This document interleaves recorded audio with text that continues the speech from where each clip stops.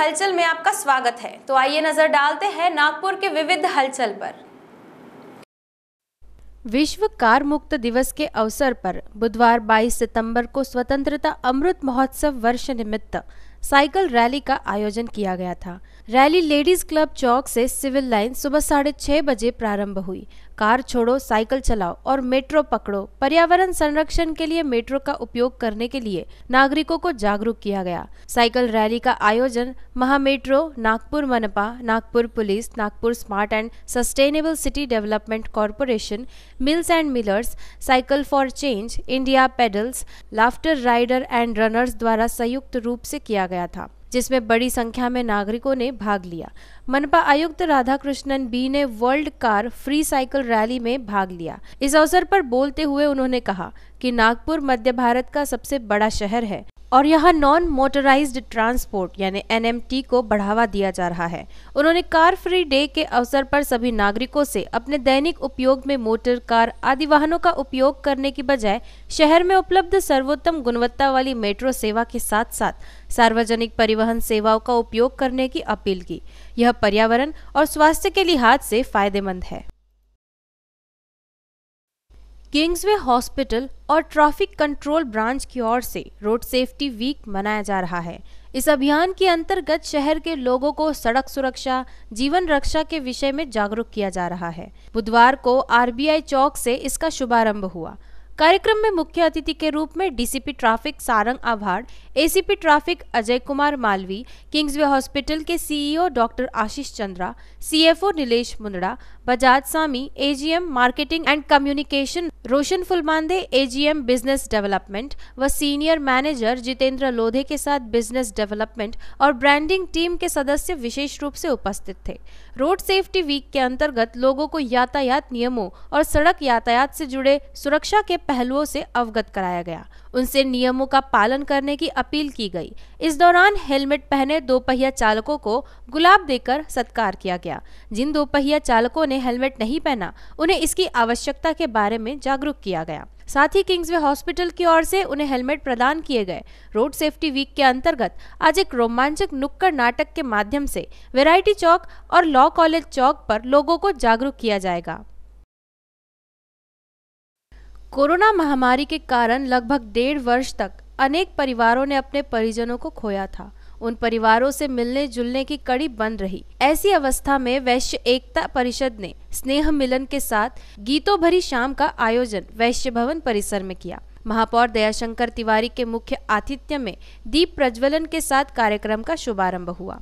कार्यक्रम की अध्यक्षता अखिल भारतीय वैश्य एकता परिषद के महाराष्ट्र अध्यक्ष रामकृष्ण गुप्ता ने की। महानगर के अनेक गणमान्य महानुभाव की उपस्थिति सराहनीय रही। खादी ग्रामोद्योग के राष्ट्रीय सदस्य जयप्रकाश गुप्ता, कैट के राष्ट्रीय अध्यक्ष BC Bhartia, sunrise peace mission के अध्यक्ष हरगोविंद मुरारका, गोपाल अग्रवाल संदेश, संस्था के उपाध्यक्ष जुगल किशोर गुप्ता एवं राजकुमार गुप्ता, कमलेश केसरवानी, गांधीबाग बैंक के पूर्व अध्यक्ष रतन लाहौटी, मलकापुर बैंक के branch manager Lashkare. Sale tax bar association के पूर्व अध्यक्ष शिव रतन गांधी सह संपादक आनंद निर्वाण, शहर के आध्यात्मिक प्रकोष्ठ के अध्यक्ष सुरेश चंद्र गुप्ता, संस्था की महिला प्रदेश उपाध्यक्ष श्रीमती रंजना गुप्ता, माया गुप्ता, सुनीता केसरवानी, जिला अध्यक्ष संगीता अग्रहरी प्रमुख रूप से उपस्थित थे। इसके अलावा सर्ववर्गीय समाज के अध्यक्ष क्रमशः शंकर गुप्ता, भरत गुप्ता आदि की उपस्थिति रही।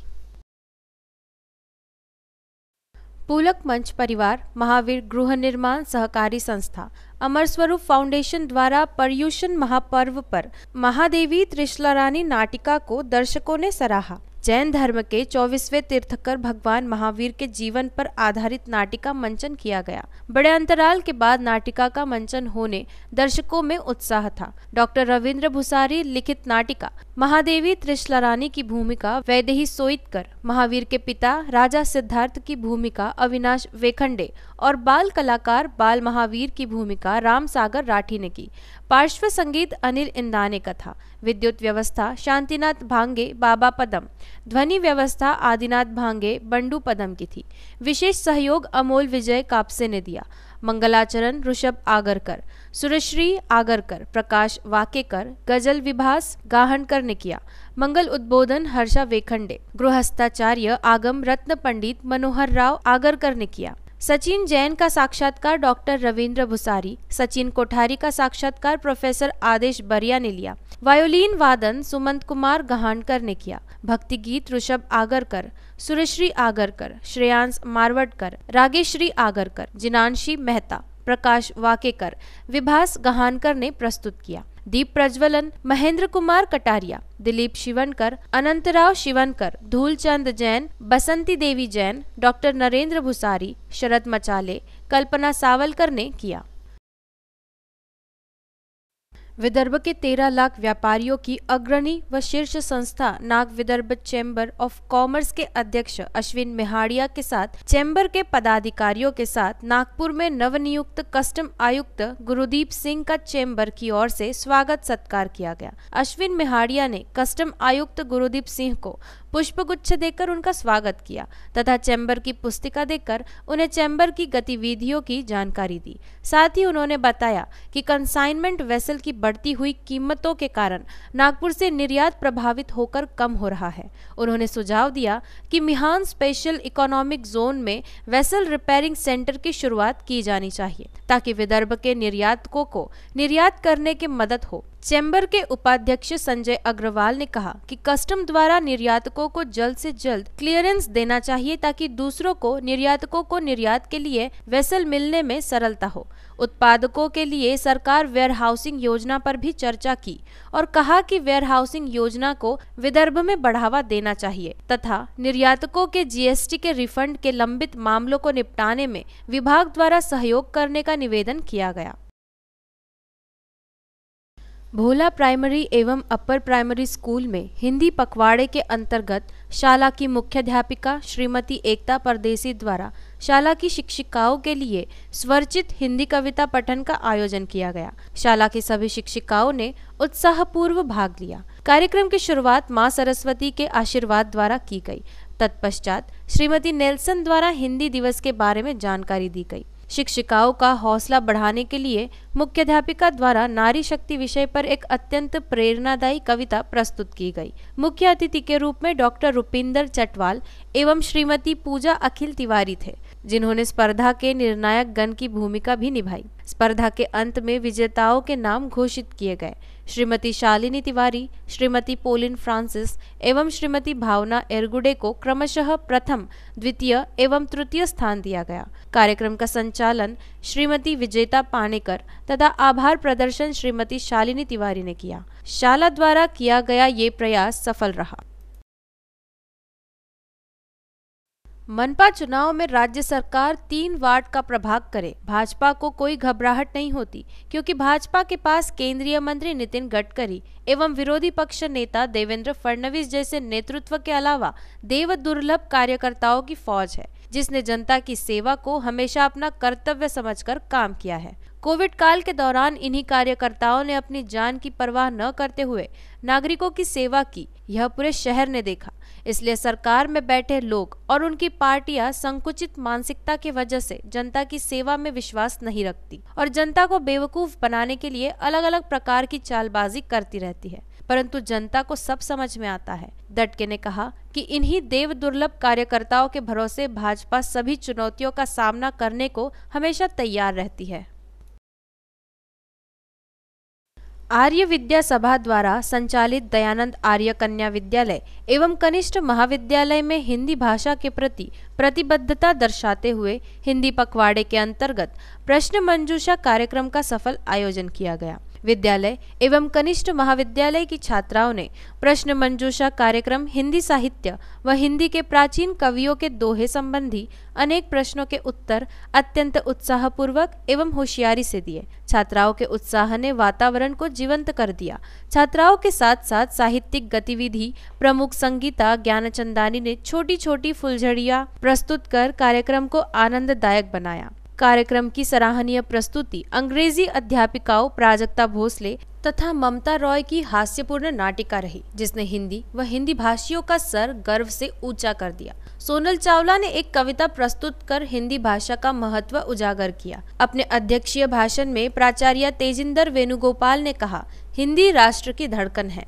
लेकिन इसके साथ मातृभाषा को भी पीछे नहीं छोड़ना है। प्रगति व विकास के लिए यदि अंग्रेज़ी भाषा अत्यंत आवश्यक है तो देश की निजी भाषा के बिना भी हमारा विकास असंभव है। अतः हिंदी को निसंकोच अपनाकर हम हिंदी व देश के प्रति अपना भक्ति भाव प्रकट करें। बुधवार दोपहर को ताजनगर मानकापुर चौक में एक आंगनवाड़ी में भेंट देकर आंगनवाड़ी सेविकाओं की संपूर्ण समस्या को समझते हुए राष्ट्रीय किसान बहुजन पार्टी के उपाध्यक्ष अनिल मेश्राम, प्रदेश के प्रवक्ता श्यामराव भगत, आंगनवाड़ी सेविका शारदा बरेहा, कांता लेलेकर, अंजू कालबांडे आदि ने आंगनवाड़ी सेविकाओं को न्याय दिलाने का आश्वासन दिया। साथ ही राष्ट्रीय उपाध्यक्ष और प्रदेश के प्रवक्ता श्यामराव भगत का पुष्पगुच्छ देकर स्वागत किया गया। शिवसेना, जय महाराष्ट्र, जनरल व राष्ट्रीय माथाड़ी कामगार सेना के राष्ट्रीय अध्यक्ष संदीप राय के आदेशानुसार, और प्रकाश जाधव व नागपुर जिला अध्यक्ष विनोद कल्याणी के नेतृत्व में चंद्रमणि नगर में सरकारी योजना पोस्ट ऑफ़िस की सेवा आयोजन किया गया, जिसमें नागपुर शहर प्रमुख रजत, भाऊ हुरडे, भाग्यश्री सहजारे, कमलेश सौदागर, अनिकेत इंगले, गौरव कोंडेवार, सुमित लहलारे, हीना वाघमारे, आशु भाई, शुभम बारई, श्वेता शंभरकर, निरंजन भाई और सभी पदाधिकारी उपस्थित थे। डेंगू की रोकथाम के उपायों के तहत नागपुर महानगर पालिका द्वारा शहर में जोन स्तर पर सर्वे किया जा रहा है। बुधवार को शहर में 3,777 घरों का सर्वे किया जा चुका है। डेंगू रोकथाम अभियान के तहत मनपा की स्वास्थ्य टीम द्वारा डेंगू पीड़ितों के आवास के आसपास के क्षेत्र में सर्वे कर आवश्यक कदम उठाए जा रहे हैं। बुधवार को जोन स्तर पर सर्वेक्षण के दौरान पचासी घरों में डेंगू के लार्वा पाया गया। इसके अतिरिक्त चौदह बुखार के मरीज़ मिले। पचपन लोगों के रक्त के नमूने लिए गए हैं। सर्वेक्षण के दौरान 190 घरों में लगे कूलर का निरीक्षण किया। इसमें कूलरों में मच्छर पाए गए। निगम की टीम द्वारा सात कूलर खाली कराए गए। छिहत्तर कूलरों में एक प्रतिशत टैमिफोस घोल, सतासी कूलरों में दो प्रतिशत डिफ्लू बेंज्यूरोम टैबलेट डाले गए। साथ ही 20 कूलरों में गप्पी मछली छोड़ी गई, ताकि पानी में मौजूद लार्वा का खात्मा हो सके। मनपा ने आह्वान किया है कि डेंगू रोकथाम अभियान के तहत प्रत्येक नागरिक इस बात का ध्यान रखे कि उनके घर के आसपास अथवा क्षेत्र में कहीं मच्छर न पनपे। डेंगू से संबंधित कोई भी हल्का लक्षण होने पर तुरंत डॉक्टर से सलाह ले। रविनगर स्थित श्री अग्रसेन छात्रावास में रहने वाले विद्यार्थियों ने हाल ही में घोषित किए गए सीए परीक्षा के नतीजों में शत प्रतिशत सफलता अर्जित की है। जुलाई 2021 सीए इंटर और आईपीसीसी में यहाँ के सात विद्यार्थियों ने परीक्षा दी थी। यह सभी विद्यार्थी उत्तीर्ण हुए। सीए इंटर आईपीसीसी में रजत अग्रवाल, कलश गजरानी, दर्श अजमेरा, नैनिश आर्य, राजवीर सिंह भाटिया अमन अग्रवाल, रवि जायसवाल, यह सभी विद्यार्थी उत्तीर्ण हुए। सीए फाइनल में पाँच में से चार विद्यार्थी सफल हुए। रत्नेश अग्रवाल, कलश पाटनी, राधेश खंडेलवाल, आयुष बगड़िया ने सफलता प्राप्त की। ऑल इंडिया रिज़ल्ट 10 से 15 प्रतिशत रहता है। पूर्व में भी श्री अग्रसेन छात्रावास का सीपीटी रिज़ल्ट शत प्रतिशत रहा। ऑल इंडिया औसत रिज़ल्ट से छात्रावास का रिज़ल्ट ज़्यादा ही रहता है। छात्रावास से पूर्व में ऑल इंडिया प्रथम रैंक के साथ ही कई छात्र रैंक होल्डर्स भी रहे हैं। कोविड पीरियड में भी जो विद्यार्थी हॉस्टल में रह रहे थे, उन्हें सर्व सुविधा तथा कोविड सुरक्षा के साथ सर्व सुविधा प्रदान की गई। श्री अग्रसेन छात्रावास के सचिव कैलाश जोगानी ने सभी विद्यार्थियों को बधाई दी। इन मेधावी विद्यार्थियों ने अध्यक्षा उर्मिला अग्रवाल, कैलाश जोगानी आदि का आभार माना।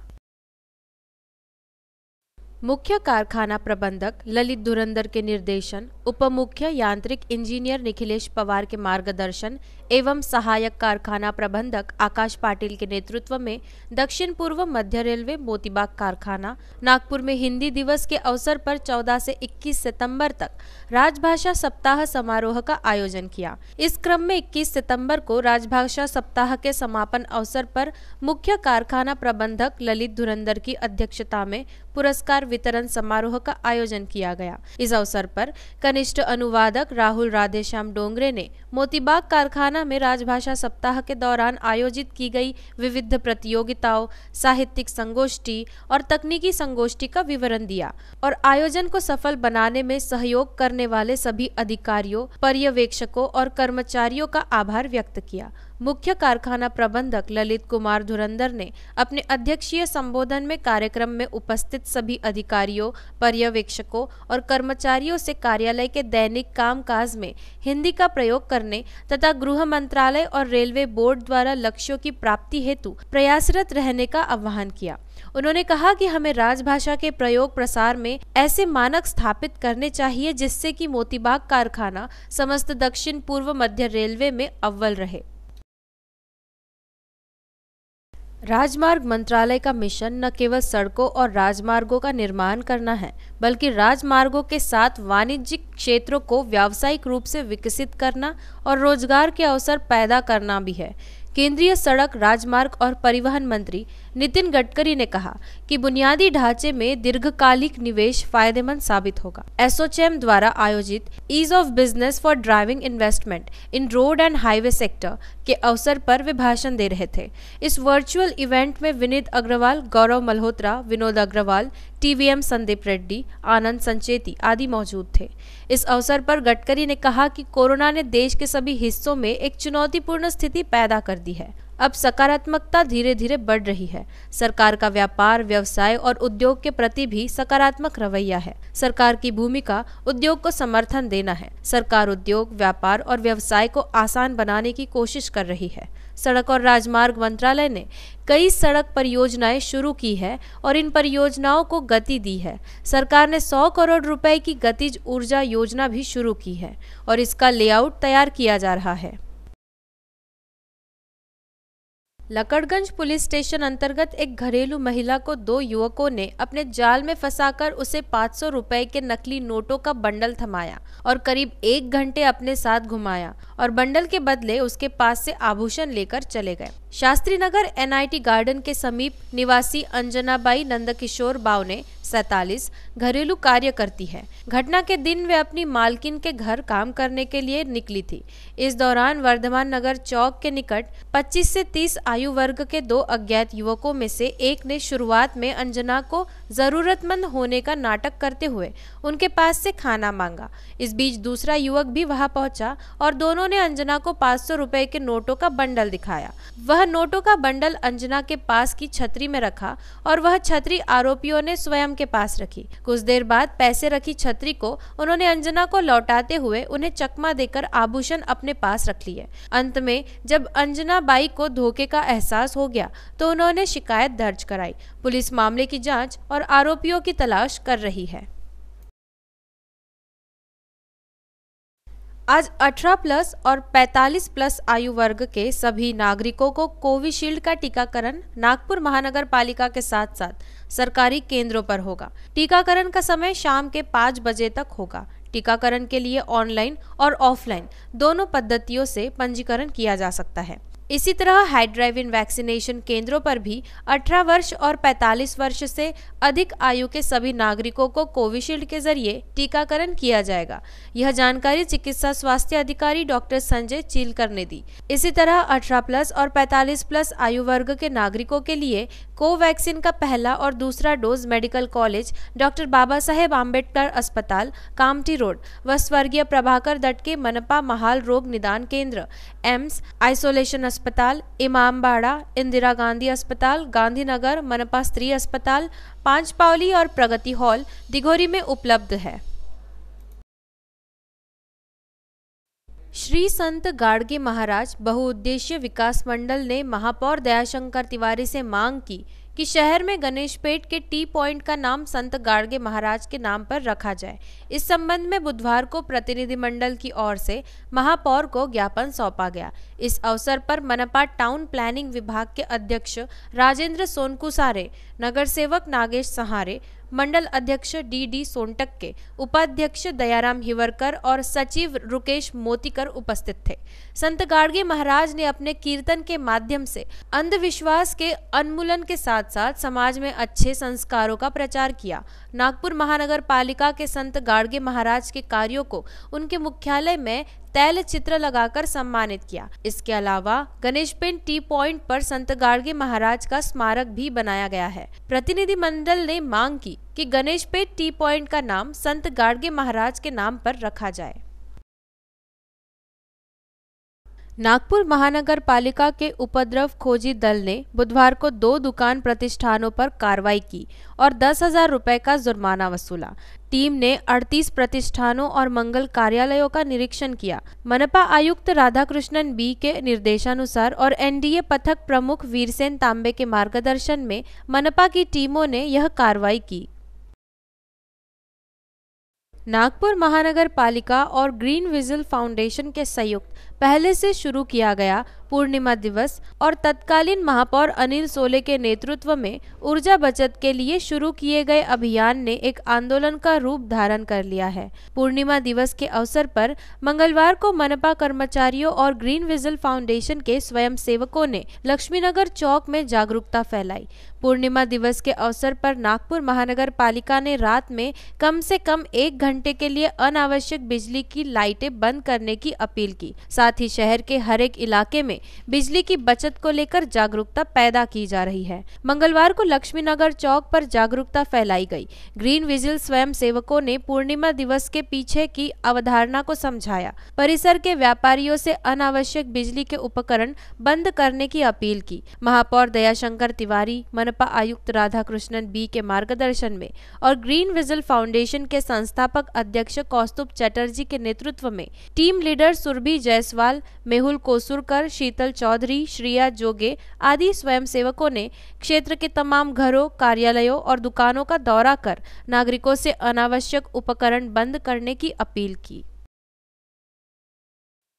सरकार के निर्देशानुसार वर्ष 2004 से नागपुर महानगर पालिका शहर में हाथी पाव रोग, फाइलेरिया के उन्मूलन के लिए चिकित्सा अभियान चला रहा है। इस अभियान के चलते शहर में इस रोग से पीड़ित मरीजों की संख्या में भारी गिरावट आई है। मौजूदा हालात में फाइलेरिया के मामलों का सटीक तरीके से पता लगाने के लिए मनपा के स्वास्थ्य विभाग द्वारा 27 से 30 सितंबर तक फाइलेरिया संक्रमण संबंधित सर्वेक्षण किया जाएगा। इसके लिए मनपा शिक्षा अधिकारी जोनल चिकित्सा अधिकारी व नगर संक्रामक रोग अधिकारी और डॉक्टर संजय चीलकर ने नागरिकों से सहयोग करने की अपील की है। आज शाम चार बजे मनपा में टास्क फोर्स की बैठक आयोजित की गई है। केंद्र सरकार के दिशा निर्देशों के अनुसार, जिन जिलों में पिछले तीन वर्षों से सभी स्थानों पर संक्रमण दर एक प्रतिशत से कम पाई गई है, वहाँ सार्वभौमिक चिकित्सा अभियान को रोकने का निर्णय लिया गया है। नागपुर भी राज्य के ऐसे छह जिलों में शामिल है, इसलिए अभियान को बंद करने से पहले संक्रमण का दर एक प्रतिशत से कम है या नहीं, यह सुनिश्चित करने की आवश्यकता है। अतः 27 से 30 सितंबर तक नागपुर शहर में विशेष सर्वेक्षण अभियान चलाया जाएगा। तो नागपुर हलचल में आज के लिए इतना ही। आपसे कल फिर मुलाकात होगी। तब तक देखते रहिए वीकेबी न्यूज़। नमस्कार।